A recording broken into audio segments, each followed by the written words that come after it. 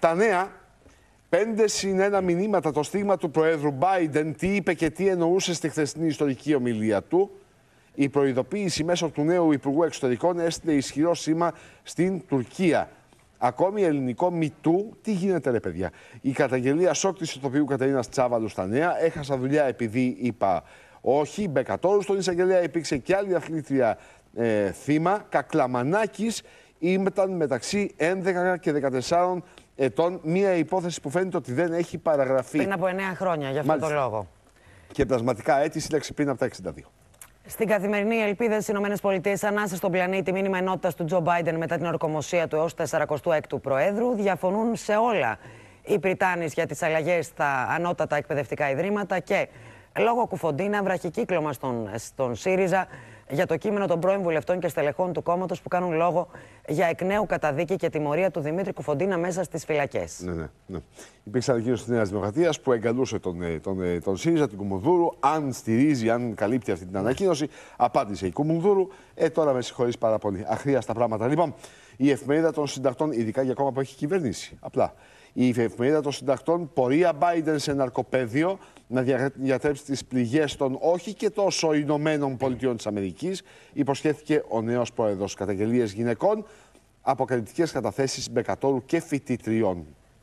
Στον ελεύθερο τύπο, τα ΣΟΣ για ηλεκτρονική ταυτότητα κτηρίων, πρεμιέρα από 1η Φεβρουαρίου, τι πρέπει να ξέρουν οι ιδιοκτήτες ακινήτων.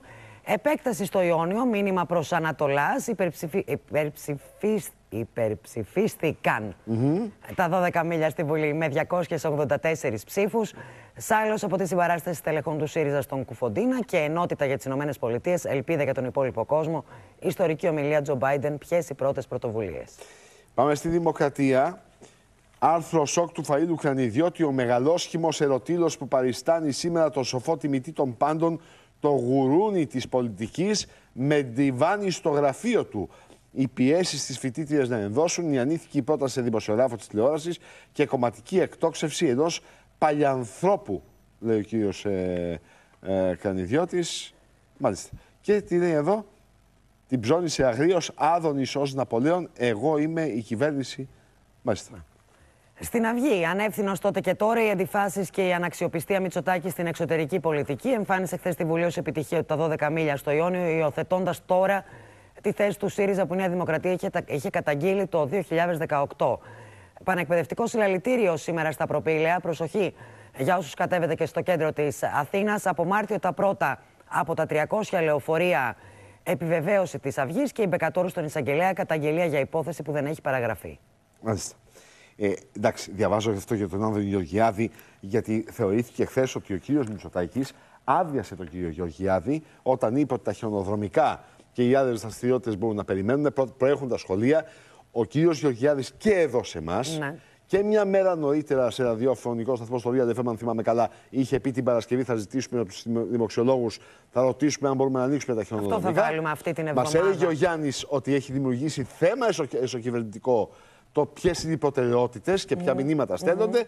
Και τελικά ο κ. Μητσοτάκης έβαλε το δικό του, ε, ναι. την δική του υπογραφή στην όλη υπόθεση. Ριζοσπάστης. Πρόταση νόμου του Κομμουνιστικού Κόμματος Ελλάδος μέτρα ανακούφισης για βιοπαλαιστές, αγρότες και ε, ε, ΕΒΕ. Στην αιστεία, Ελλάς επεκτείνουσα με νέα σύνορα. Έλα. Ελλάς επεκτείνουσα με νέα σύνορα και 12 μίλια εναέριο χώρο σε Ιόνιο και Κρήτη. Αυξάνεται η επικράτεια κατά 13.500 τετραγωνικά χιλιόμετρα. Ιστορική απόφαση της Βουλής των Ελλήνων με 284 ψήφους. Στην ε, Κόντρα, συνάντηση με Biden επιδιώκει ο Μητσοτάκης με ανοιχτή ατζέντα για βάσεις εξοπλιστικά λιμάνια και επενδύσεις. Η κυβέρνηση ενεργοποιεί όλα τα λόμπι στην Ουάσιγκτον για να εξασφαλίσουν επίσκεψη του Πρωθυπουργού στο Λευκό Οίκο. Στο Ποντίκι, πεδίο μάχης η μεσαία τάξη. Στα πόδια της θα σφαχτούν οι μνηστήρες εν ώψη πιθανών πρόωρων εκλογών. Πρώτος στόχος της κυβέρνησης η αποφυγή της χιονοστιβάδας λουκέτων και απολύσεων, την εξαπάτηση από Νέα Δημοκρατία και προτάσεις για επούλωση των πληγών αναδεικνύει ο ΣΥΡΙΖΑ. Πάμε στην ε, Εσπρέσο. Κακοποίηση ανήλικης ιστιοπλώου. Η Χρυσή Ολυμπιονική πήγε στον εισαγγελέα χθες. Μπεκατόρου και Κακλαμανέκη δείχνουν βόμβες για τον αθέατο και βρώμικο κόσμο των σπορ. Και Πάτερ Γκομένιος, Ο Παπακαζανόβας της Κρήτης, το πρωί έγκαμος ιερέας, το βράδυ εραστής, Αυτά δεν έγιναν ούτε σε την ταινία με τον Μουστάκα η καταγγελία που τάραξε την Αρχιεπισκοπή Κρήτης. Πολλοί καζανόδε μαζεύτηκαν. Ναι, ναι. παιδί μου. ναι. Λοιπόν, στη Star Press, αγαπητικός, ορίστε, εδώ τον λένε, το χαρακτηρίζουν αλλιώς. Mm. Παπάς έκαιγε καρδιές και άρπαζε λεφτά. Σ' άλλος με ιερέα στην Κρήτη που έριχνε σαραντάρες και μάζευε δανεικά και γύριστα. Μπράβο. Μπράβο, παππούλη.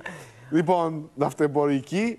Τρία μέτωπα με τους θεσμούς. Διαβούλευση της κυβέρνησης για πρόγραμμα γέφυρα, κόκκινα δάνεια, αναστολή πληστηριασμών. Τα όσα είπε χθες ο κύριος Ταϊκούρα εδώ στην εκπομπή Ναι. ε, διαμόρφωσαν καινούργια ατζέντα ε, γύρω από την οικονομία και τους ε, στόχους της κυβέρνησης. Και να κλείσουμε με το τύπο της Θεσσαλονίκης. Έξαλλη η Ιταλία για καθυστερήσεις στα εμβόλια COVID. Σε κίνδυνο η εκστρατεία του εμβολιασμού των Ευρωπαίων, τονίζει η Ρώμη. Περνάνε σε νομική αντεπίθεση αντίον της Pfizer Ναι. για Ω, τη μη ναι. παράδοση των εμβολίων.